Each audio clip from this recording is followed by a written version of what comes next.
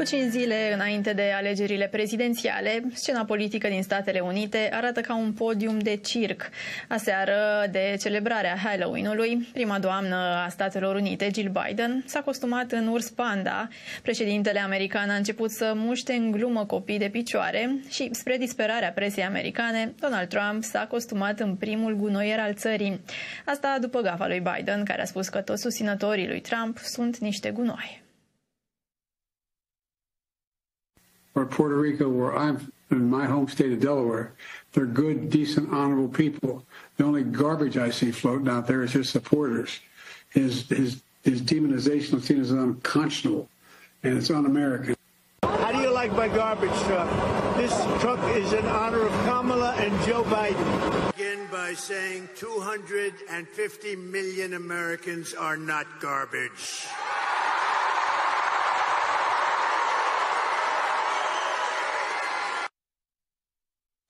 Pare un spectacol adus la extreme, dar nu este. Chiar așa arată scena politică americană în condițiile în care campania la președinție a devenit un adevărat sprint.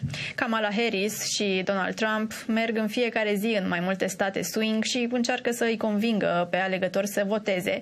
Până acum aproape 57 de milioane de americani au votat anticipat, iar despre atmosfera din Statele Unite și la ce să ne așteptăm în următoarele zile, spune Sorina Matei, care e alături de mine. Bine te-ai regăsit, Sorina. Bună, Andreea. Care este acum situația în statele cheie, statele swing? E la fel de proastă, ca să spun așa. Nimeni nu poate să înțeleagă de ce sondajele în Statele Unite nu reușesc de 8 ani să surprindă sau să dea un trend exact. S-a întâmplat în 2016, s-a întâmplat în 2020. M-am uitat aseară, nici uh, Anderson Cooper de la CNN spunea pe un alt post de televiziune că nici el nu mai crede în sondajele pe care le prezintă pentru că problema este demografică în Statele Unite. Uh, de 4 ani, de 8 ani votează oameni care uh, nu sunt surprinși în calibrarea uh, celor care fac sondaje.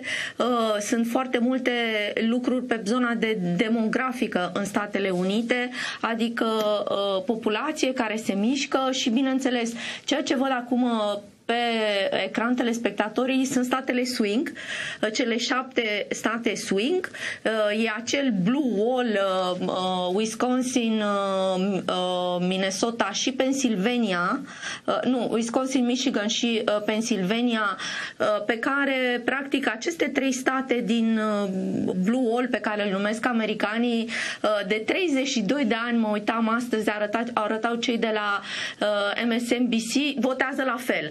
În general, ei dau președintele.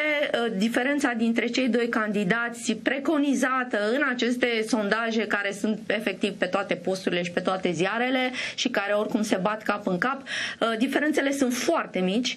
Uh, ceea ce vedem pe ecran, ce arată colega noastră din regie, sunt, este predicția CNN pe ceea ce avem acum ca tendință de vot și ca așteptare. Avem 226 206 de voturi electorale pentru Kamala Harris și 219 uh, voturi electorale pentru uh, Donald Trump. Uh, ca să ajungi președinte al Statelor Unite, trebuie să ai 270 de voturi electorale. Și problema este dacă cele uh, trei state, uh, Pennsylvania, Michigan și Wisconsin, unde diferențele sunt uh, de sub 1% în acest moment, vor fi luate uh, de democrații, uh, va uh, rezista Kamala Harris va fi președinte al Statelor Unite. Dacă vor fi luate uh, de Donald Trump, Donald Trump va fi președintele uh, Statelor Unite. Aici, uh, aici merg ei în, în aceste ultime zile, deci mai sunt 5 zile până se încheie votul în Statele Unite. Mă uitam acum ca program de campanie, Donald Trump merge în New Mexico, Nevada și Arizona în celălalt, în ceea ce numesc ei Sunbelt, celelalte patru state, cheie, da? acolo în general este vot republican, dar uh, Kamala Harris speră să obțină ea câștigul în aceste patru state cheie, tocmai de aceea și ea merge în Phoenix, în Reno și în Las Vegas, deci în Arizona și Nevada. Aici sunt voturile latino. Uh, știm foarte bine că a fost uh, o gafă în um, acel meeting din, din New York al susținătorilor lui Donald Trump. Uh, un susținător i-a jinit pe cei de la, din Puerto Rico, a spus că sunt gunoaie. Ulterior a venit gafa, a doua gafă și mai mare a lui Joe Biden, că susținătorii lui Trump sunt gunoaie și a ieșit de azi noapte această nebunie despre gunoaiele, cine sunt gunoaie și cine sunt gunoierii din Statele Unite. Uh, ei atacă acum în ultimele zile aceste uh, Sunbelt, ceea ce arată că republicanii încearcă să-și țină un potențial avantaj în statele din, uh, din sud, statele și ele swing. Important este că ce vom vedea în zilele următoare sunt exploatate gafele, Andreea.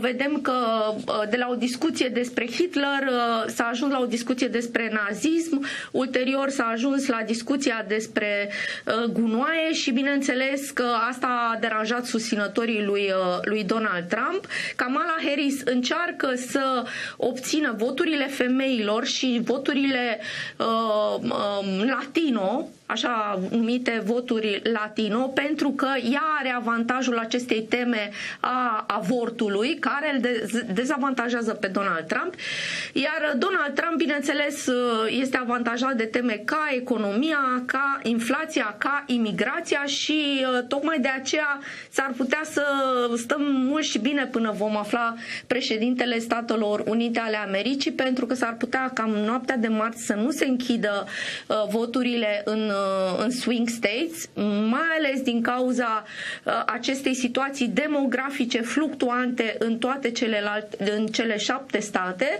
și uh, în plus au apărut și o serie de probleme. În unele state am văzut că Uh, s-au dat, vot, uh, s-au dat foc la unele uh, buletinele de vot care au fost exprimate anticipat. Sunt aproape 60 de milioane în acest moment de americani care au votat uh, anticipat și, bineînțeles, ambele echipe, echipa democraților și echipa republicanilor, deja au început uh, demersuri legale în ceea ce privește uh, controlul voturilor în aceste swing states, cele șapte swing states, uh, dând președintele uh, Statelor Unite am văzut că deja au fost depuse procese de ambele echipe în șapte state au început, au început uh, demersuri legale. O primă problemă fiind voturile imigranților, pentru că sunt în aceste uh, voturi anticipate, oamenii s-au dus și au început să voteze, dar s-au dus imigranți, oameni care nu aveau cetățenia americană. Și în urma unor decizii succesive ale Curții Supreme din state Statelor Unite, din Statele Unite, uh, persoane au fost descalificate de la vot, ceea ce a însemnat uh, pentru ambele tabere o bătălie uh, legală. Până acum au învins republicanii pentru că este normal ca doar cetățenii americani care au cetățenia americană să, să voteze pentru președintele Statelor Unite și pentru viitorul congres și pentru viitorii guvernatori. Deci ar putea să dureze, dar important Uh, importante sunt uh, cele șapte state în care vor face turnee ambii candidați în aceste ultime zile. E interesant ce se întâmplă. Vom vedea cine va câștiga, după cum ai zis, după Și Kamala va apărea cu, cu Jennifer Lopez. Iată, așteptăm uh, să vedem și noi imaginile. Îți mulțumesc!